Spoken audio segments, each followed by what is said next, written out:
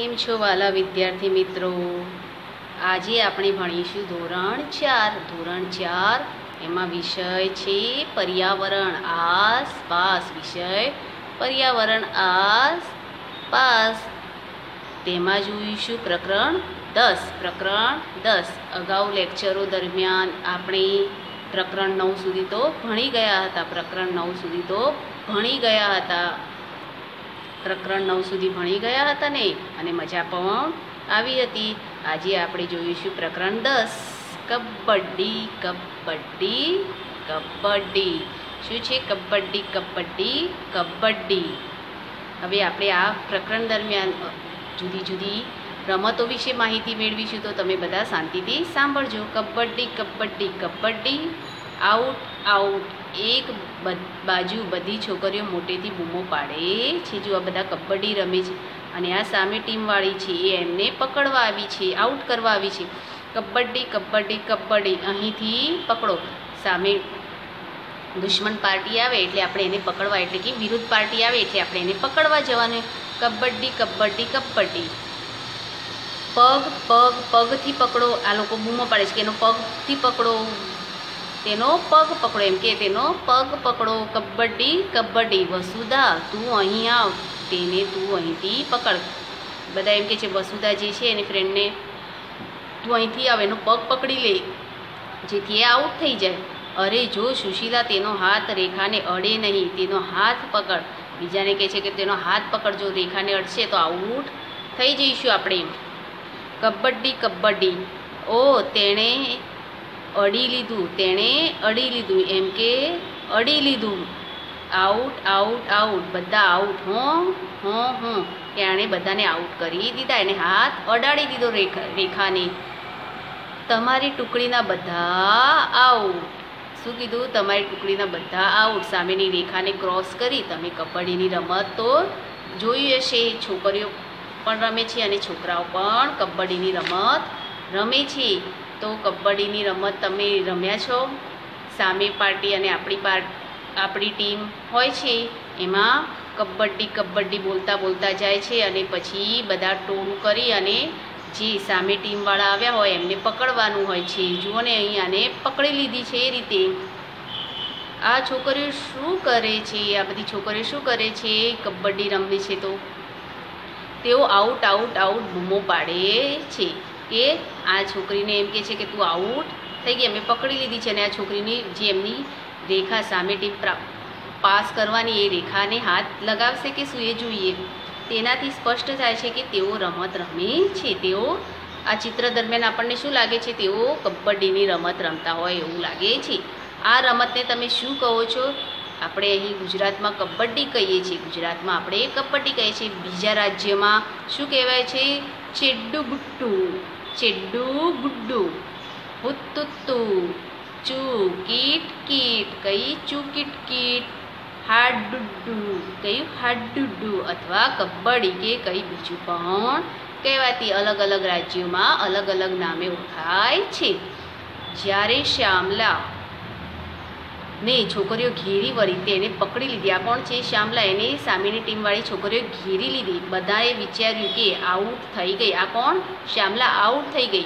કોઈ કે તેનો પગ પકડ્યો તો કોઈ કે તેનો હાથ પકડ્યો. જોયું છે ને? તો જ્યારે કોઈએ તેની કમર પકડી. પરંતુ શ્યામલા હાર માનવાવાળી નહોતી. શ્યામલા એકદમ ચેમ્પિયન એટલે કે ખૂબ જ રમતમાં હોશિયાર હોય એવી છોકરી હતી. તે જેમ તેમ હાર માને એવી ન હતી. તેણે વધુ તાકાત લગાવી અને પોતાની જાતને ખેંચી અને મેદાનની મધ્યમાં રહેલી રેખાને અડવામાં સફળ રહી. આ રેખાને અડવામાં સફળ રહી. જોર લગાવી, આ બધા ભલે ખેંચતા હોય કે તોય એને જોર લગાવી અને આ રેખાને અડી ગઈ. જ્યારે શ્યામલા રેખાને અડી, ત્યારે સામેની ટુકડીની બધી છોકરીઓ તેને પકડી હતી. આ અડી ત્યારે બધી પકડેલી છે ને? તેથી તેઓ બધી આઉટ થઈ ગઈ. બધા આઉટ થઈ ગયા. જેને પકડી તે બધી છોકરીઓ આઉટ થઈ ગઈ. પરંતુ રોઝીએ દલીલ કરી કે શ્યામલાએ વચ્ચે શ્વાસ લીધો એટલે કે ટુકડી આઉટ ગણાય નહીં. કે શ્યામલાએ વચ્ચે પોતાનો શ્વાસ રૂંધા બંધ રાખ્યા વગર શ્વાસ લઈ લીધો અથવા કબડ્ડી કબડ્ડી બોલવાનું. પણ એને શ્વાસ લીધો. શામલાએ કહ્યું સા તે સાચું ને, જ્યારે આપણે અને આપણી સામેની ટીમવાળા હોય, હાર જીત થતી હોય તો આપણે ગમે તે ગમે તે રીતે દલીલો કરતા હોય છે કે ના ભાઈ એને ચીટિંગ કરી, આપણે કહીએ કે એણે ચીટિંગ કરી, પેલો કે તમે ચીટિંગ કરી એમ કરતા હોઈએ છીએ દલીલો કરતા હોઈએ છીએ શ્યામલા કે આ સાચું નથી. તેણે કહ્યું, જો તેણે શ્વાસ લીધો હોત, કેમ છોકરીઓ તેને પકડી રાખી? છતાંય શ્વાસ લીધો તો એ પકડી રાખી હતી? ત્યારે દલીલો ચાલ્યા જ રાખી. ના ભાઈ, હું જીતી, પેલી કે હું જીતી એમ. અંતમાં શ્યામલાની વાત માનવામાં આવી અને આ પીળા કપડાવાળી છોકરીઓ બધી હારી ગઈ અને શ્યામલાની ટીમ જીતી ગઈ. આ રમત દ્વારા જીવન વ્યવહારના ચોક્કસ નિયમો અને તેના મહત્ત્વ અંગે ચર્ચા કરો. જીવનમાં પણ આપણે મહત્ત્વના નિયમો રાખવા જોઈએ. નિયમો દરમિયાન જ વર્તવું જોઈએ. હવે આગળ જોઈએ વિદ્યાર્થી મિત્રો, શું સવાલ પૂછ્યો છે કબડ્ડી વિશે?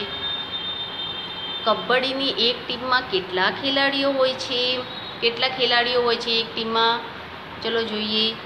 એક ટીમમાં બાર ખેલાડીઓ અને રમતા એક સાથે સાત ખેલાડીઓ છે. બાર ખેલાડી તો હોય જ છે, પરંતુ કોઈને કંઈ આગું પાછું થયું હોય તો એની સામે બીજો ખેલાડી લાવી શકાય. એટલે એ રમવાના જે મેદાન હોય છે, એ મેદાનમાં કેટલા હોય છે? સાત ખેલાડી ઊભા હોય છે.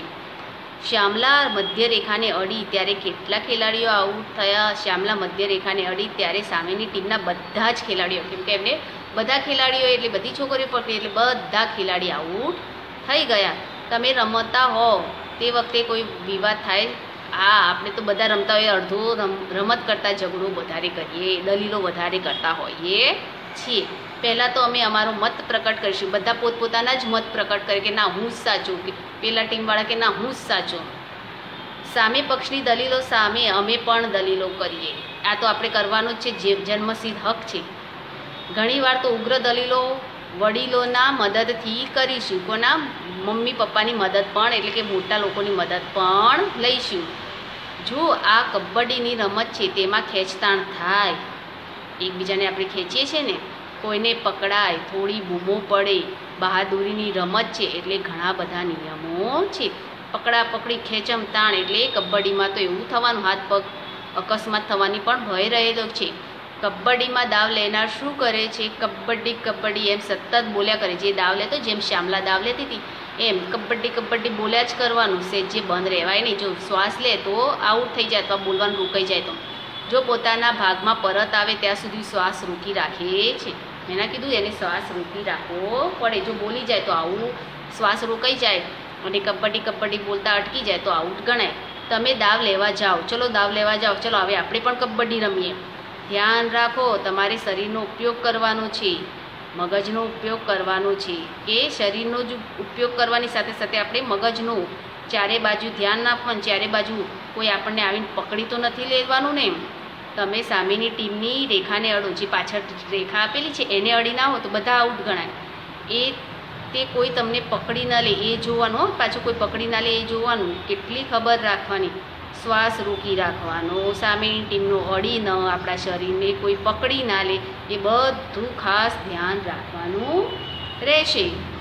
શ્વાસ રોકી રાખો અને કબડ્ડી કબડ્ડી બોલતા રહો. કેટલો સમય બોલી શકશો? હું તો પાંચ દસ સેકન્ડ બોલી શકું. તમે કેટલું બોલી શકો? ઘરે ટ્રાય કરજો. અત્યારે ઘરે જ છો એટલે ટ્રાય કરો. તમે મેદાનમાં જાઓ, ત્યારે કબડ્ડી રમો. તમારા હાથ, પગ અને આંખોનું ધ્યાન આપો. સાવચેતી રાખવી પડે. તમારા ધ્યાનમાં આવશે કે બધા અંગો સાથે કામ કરે છે. કે તમે ધ્યાનથી બધા અંગોથી કામ કરજો. હાથ, પગ અને આંખોથી. નહીં તો આપણે હારી જઈએ. કબડ્ડીમાં આઉટ થવું એટલે શું? કેવી રીતે આઉટ થવાય? હવે કબડ્ડી રમીએ છીએ, એમાં આઉટ થવું કેવી રીતે આઉટ થાય ધ્યાનથી સાંભળજો. જ્યારે કોઈ ખેલાડી સામેની ટીમને કબડ્ડી કબડ્ડી બોલતો જાય સામેની ટીમમાં, ત્યારે દોરેલી પાછળની જે સામેવાળી ટીમની રેખાને અડકે નહીં નહીં તો તે આઉટ ગણાય. વળી તે પોતાના ભાગમાં પરત આવે ત્યાં સુધી કબડ્ડી કબડ્ડી બોલતા શ્વાસ રોકી રાખવાનો હોય છે. આમ કરવામાં જો ચૂક થાય તો શ્વાસ છૂટી જાય તો પણ એ ખેલાડી આઉટ ગણાય.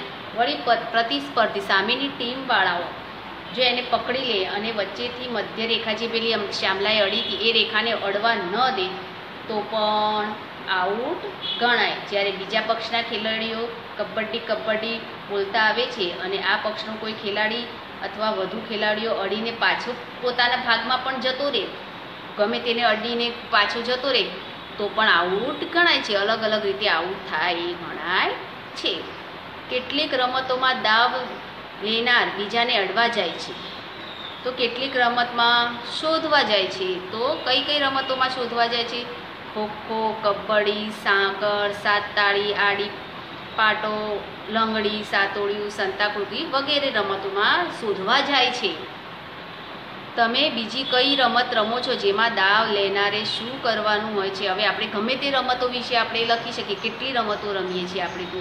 જુઓ ને, ઘણી બધી, અત્યારે તો નવરા બેસે છે એટલે બધી રમતો રમી નાખી છે. ગીલી દંડા ક્રિકેટ, કેરમ સાપસીડી હોકી, બાસ્કેટબોલ વગેરે રમતો રમી છે. હવે એ રમતોમાં દાવ લેનારે શું કરવાનું હોય છે? ધ્યાનથી સાંભળજો વિદ્યાર્થી મિત્રો. તમે બીજી કઈ રમતો રમો છો તો આપણે એમાં લખીશું. ગીલી દંડા ક્રિકેટ, કેરમ સાપસીડી હોકી, બાસ્કેટબોલ, બેડમિન્ટન જે લખવું એ બધી રમતો લખી શકાય છે. હવે દરેકની દાવ લેવાની ક્રિયાઓ અલગ અલગ હોય છે. હવે ગીલી દંડાની રમત લઈએ તો ગીલી દંડામાં શું થાય? દાવ લેનારે ગીલીને દંડા વડે રમવાનું હોય છે. ગીલી અને દંડા વડે ક્રિકેટમાં બેટ અને બોલ વડે દાવ લેનારે રમવાનું હોય છે. કેરમમાં ઉકરીને સ્ટ્રાઇકર વડે કેરમના બોર્ડના ચારે ખાનામાં કોઈ પણ ખાનામાં કુકડી નાખવાની હોય છે સ્ટ્રાઇકરથી. સાપસીડીમાં પાસાથી રમીને આગળ વધવાનું હોય છે. હોકીમાં હોકી સ્ટીક વડે દડાને રમીને આગળ વધવાનું હોય છે. આગળ વધે છે ને, દડાને ફટકારી ફટકારીને આગળ દોડતા હોય છે. બાસ્કેટબોલમાં હાથમાં બોલ આવે અને બાસ્કેટમાં નાખવાનો હોય છે. આમ જુદી જુદી પ્રકારની જુદી જુદી રીતે રમાય છે. ખબર પડી ને તમે? પછી બેડમિન્ટનમાં સામ સામે ફૂલ વડે એટલે કે કોક વડે રમવાનું હોય છે. હવે શું છે? ચલો બધા અહીં પ્રખ્યાત, ભારતની પ્રખ્યાત સ્ત્રીઓ છે આ બધી. એ કઈ જ શા માટે પ્રખ્યાત થઈ છે એ જોઈએ. એમણે ખેલ જગતમાં પોતાની ખ્યાતિ મેળવી છે. પહેલી કોણ છે? કરણમ મલ્લેશ્વરી. કોણ છે આ? કરણમ મલ્લેશ્વરી. કરણમ મલ્લેશ્વરી વેઇટ લિફ્ટર છે. વેઇટ લિફ્ટર એટલે વજન લિફ્ટ એટલે વજન ઊંચવવું તમે જોયું જ હશે, એક વજન ઉપાડવામાં પેલા વચ્ચે લાકડી હોય છે લોખંડની અને આજુબાજુ ગોળ ગોળ પૈડા જેવું ભણાવ્યું હોય છે. જોયું છે ને એ વજન ઉચક. તે ક્યાંની છે? આ આંધ્રપ્રદેશની છે. તેના પિતા પોલીસમાં છે મલ્લેશ્વરી બાર વર્ષની ઉંમરે વજન ઉચકવાની શરૂઆત કરી હતી. બાર વર્ષની હતી ત્યારથી જ એને પોતાની રમત શરૂ કરી કઈ વેઇટ લિફ્ટરની એટલે કે વજન ઉચકવાની શરૂઆત કરી દીધી હતી. હવે તે એકસો ત્રીસ કિલોગ્રામ ઉપાડી શકે કેટલું? એકસો ત્રીસ કિલો વજન ઉપાડી શકે છે. મલ્લેશ્વરી આંતરરાષ્ટ્રીય એટલે કે બીજા દેશોમાં સ્તરે ઓગણત્રીસ ઓગણત્રીસ ચંદ્રકો જીત્યા છે. કેટલા? ઓગણત્રીસ ચંદ્રકો જીત્યા છે. તેને ચાર બહેનો પણ વેઇટ લિફ્ટર બનવાનો પ્રયત્ન કરે છે. અને બીજી ચાર બહેનો છે એ પણ એના જેવી રીતના ખ્યાતિ મેળવવા માગે છે કે માં વેઇટ લિફ્ટરમાં હવે કોણ આવ્યા સરિતા ગાયકવાડાનું નામ શું છે? સરિતા ગાયકવાડ. હવે તેણે કયા ખેલ જગતમાં ખ્યાતિ મેળવી છે? એક જૂન ઓગણીસો ચોરાણુંમાં ડાંગ જિલ્લામાં કરાડી આંબા, શું છે કરાડી આંબા ગામે જન્મ, જન્મેલ? સરિતા ગાયકવાડ ક્યાંના હતા ડાંગ જિલ્લાના કરાડી આંબાના. સરિતા લક્ષ્મણભાઈ ગાયકવાડ, ગુજરાતની દોડવીર છે એટલે કે દોડની રમતમાં. તેના માતા પિતા ખેતીકામ સાથે જોડાયેલા છે. માતા પિતા શું? ખેતી કરતા હતા. સરિતા ચારસો મીટરની દોડ અને ચારસો મીટર વિઘ્ન દોડનીમાં નિષ્ણાત છે. એશિયન ગેમ બે હજાર અઢારમાં તેણે ચાર ગુણ્યા ચાર એટલે સોળસો મીટરની દો, રિલે દોડમાં સુવર્ણ ચંદ્રક પ્રાપ્ત કરેલું એશિયન ગેમમાં. હાલ સરિતા ગાયકવાડ, ગુજરાત સરકારના બેટી બચાવો અભિયાનના બ્રાન્ડ એમ્બેસડર છે એટલે કે અગ્રણી છે. બેટી બચાવો અભિયાન જે ચાલે છે ને એના. આ બધી સ્ત્રીઓ આપણા ગુજરાતની બ્રાન્ડ એમ્બેસર એટલે કે મહત્ત્વની છે, જેમણે પોતાના કાર્યથી ખ્યાતિ મેળવી છે. ત્રણ બહેનોની વાત, હવે આ ત્રણ બહેનોની આપણે વાત કરીએ. આ ફોટોગ્રાફ જુઓ. તેઓ સાદા, સરળ, દાદીમાં જેવા નથી લાગતા, પરંતુ તેઓ વિશેષ છે. કેવા લાગે છે? હાવ સાદા, સરળ અને દાદીમાં. ફોટોગ્રાફ ત્રણ બહેનો છે. ફોટોગ્રાફમાં ત્રણ બહેનો, જ્વાલા, લીલા અને હીરા. જ્વાલા, લીલા અને હીરા. તેઓ મુંબઈમાં રહે છે. ક્યાં રહે છે? મુંબઈમાં. તે ત્રણે કબડ્ડી રમતા હતા. આ પાછા શું કરતા હતા? કબડ્ડી રમતા હતા અને બીજાને શીખવતા પણ હતા. રમતા હતા અને સાથે સાથે શીખવતા પણ હતા. જ્વાલાએ કહ્યું, જ્યારે અમે યુવાન હતા ત્યારે છોકરીઓએ આ રમત રમવાની છૂટ નહોતી. જ્યારે જેમ આપણે અમૃતા વિશે જોયું હતું ને આગળ, અનિતા વિશે તો એને પણ ભણવાની છૂટ ન હતી. ત્યારે એ જમાનામાં આ લોકોને કબડ્ડી રમવાની છૂટ ન હતી. લોકો વિચારતા કે જો છોકરીઓ આવી રમતો રમશે તો તેમની સાથે કોઈએ લગ્ન કરવા નહીં. તેવું, એવું પણ કહેતા કે તેમને કબડ્ડી રમવા છોકરાઓના કપડાં પહેરવા પડતા હતા. અત્યારના જમાના કરતાં પહેલાંના જમાનામાં બહુ જ ફરક હતો.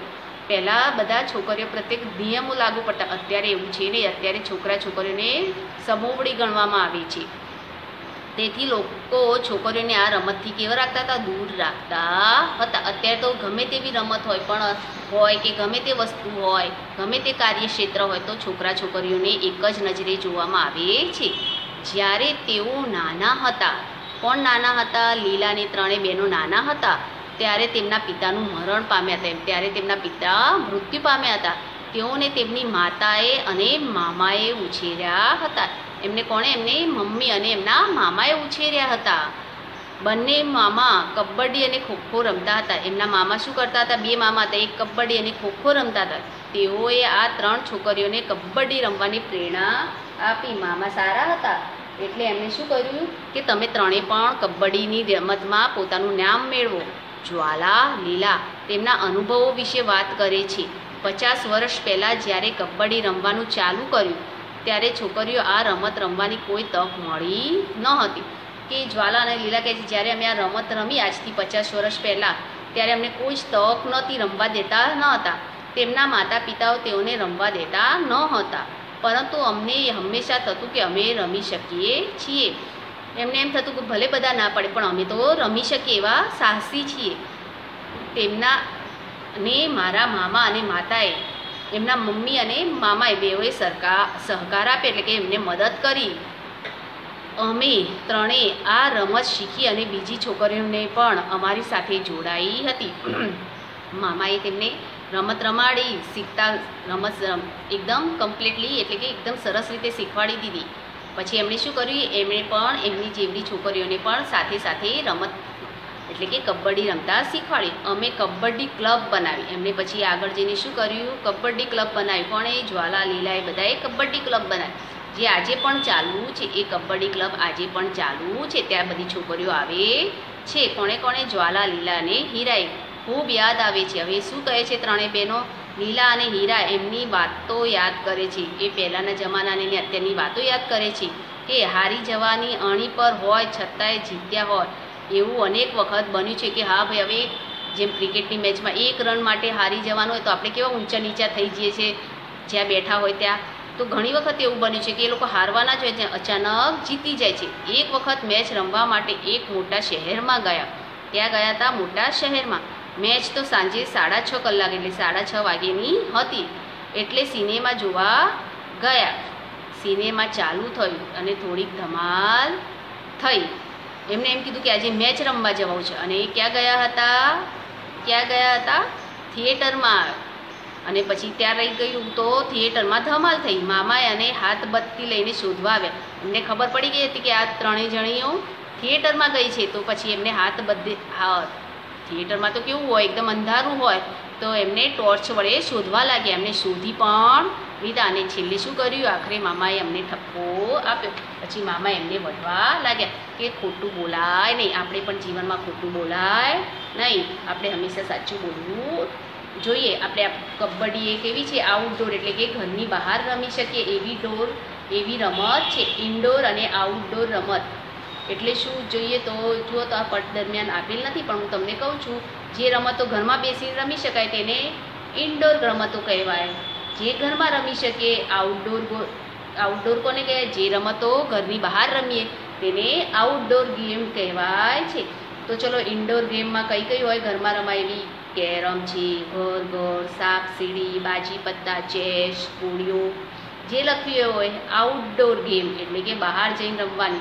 લંગડી ક્રિકેટ, કબડ્ડી, ખોખો, પતંગિયા, આ શું કહેવાય, પગથિયા, બેડમિન્ટન, જે પણ લખવા હોય એ લખી શકાય છે. રમત રમવાથી આપણને શું શું ફાયદા થાય છે? આપણું શરીર ચપળ ને તંદુરસ્ત બને. પછી આપણે શિસ્તતા અને ખેલદીદી બધા ભાવનાઓ જાગે. જીતથી આનંદ અને આનંદ, જીતમાં આનંદ કરીએ અને હારમાં કરેલી ભૂલો આપણે વિચારીએ છીએ છીએ ને? પછી આપણે દડા વડે કઈ કઈ રમતો રમીએ? દડા વડે આપણને કઈ કઈ રમતો રમાય છે? જો તો પહેલાં ક્રિકેટ દડા વડે રમાય, hockey, football, tennis, basketball, volleyball, table tennis અને સાતોડિયું. આ બધું શેના વડે રમીએ છીએ આપણે? બોલ એટલે કે દડા, દડાની મદદથી રમીએ છીએ. પછી શું કહેવાય? સરિતા ગાયકવાડ શેના માટે હતા? દોડવીર માટે. દોડવીર હતા. કરણમ મલ્લેશ્વરી કેવા હતા કરણમ મલ્લેશ્વરી વેટ લિફ્ટર વજન ઉચકવાળ જ્વાલા લીલા હીરા, કબડ્ડી કબડ્ડી. હવે ખબર પડી ગઈ ને આ પાઠ દરમિયાન કબડ્ડીના અમુક અલગ અલગ નામ છે, એ પણ આપણે જોયા. કઈ રીતે આવું થાય એ પણ આપણે જોયું. મજા આવીને કબડ્ડી કબડ્ડી કરવાની. તો આ પાઠ દરમિયાન ઘણો અભ્યાસ મેળવ્યો કબડ્ડી અને બીજી ગેમો વિશે. તો અહીં આ પાઠ પૂરો થાય છે પાઠ દસ, કબડ્ડી પૂરો થાય છે, તો એનું આપણે હોમવર્ક મેળવી લઈએ, તેનું આપણે હોમવર્ક મેળવી લઈએ. ચલો જોઈએ વિદ્યાર્થી મિત્રો, અગાઉ પિરિયડ દરમિયાન, અગાઉ પિરિયડ દરમિયાન આપણે પ્રકરણ નવ સુધી ભણી ગયા હતા, તેનું લેસન પણ જેમ પિરિયડ ચાલુ રહ્યો, એમ પતાવી દીધું છે. તો હવે લખીશું નવા પેજે પર્યાવરણના ચોપડામાં પ્રકરણ દસ, કબડ્ડી કબડ્ડી કબડ્ડી. અને એમાં લખીશું કબડ્ડીમાં લખીશું. માત્ર આ જ થોડું જ લેસન છે કબડ્ડી પાઠ દરમિયાન થોડું જ લેસન છે. કયા કયા સવાલ જવાબ લખીશું? આ જે ટીક કરું છું એ એ લખીશું. પછી આ શ્વાસ રોકીને તમે કેટલી વખત કબડ્ડી બોલ્યા એ લખજો. કેટલો સમય કબડ્ડી કબડ્ડી બોલ્યા. પછી કેટલી રમતોમાં દાવ લેનાર હોય છે તમે બીજી કઈ અહીં મેં લખાયું હતું ને? સાપ સીડી પછી કેરમ, ક્રિકેટમાં કઈ રીતે આઉટ થાય તમારી રીતે લખવાનું છે. તો અહીં આપણો આ પિરિયડ, આ પિરિયડ પૂરો થાય છે. આપણે કબડ્ડી કબડ્ડી વિશે માહિતી મેળવી, તેનું હોમવર્ક મેળવ્યું અને વાલા વિદ્યાર્થી મિત્રો પરીક્ષા દરમિયાન ખાસ ધ્યાન રાખવાનું આવશે કે આપણે જો લેસન કરીશું તો આપણને યાદ રહેશે, આપણને તે પાઠ વિશે માહિતી મળશે. તો આ હોમવર્ક નિયમિત કરીશું અને નિયમિત લેક્ચરો ભરીશું અને દરેક વીડિયો જોઈશું. તો આવજો વિદ્યાર્થી મિત્રો મળીશું હવે બીજા પિરિયડમાં.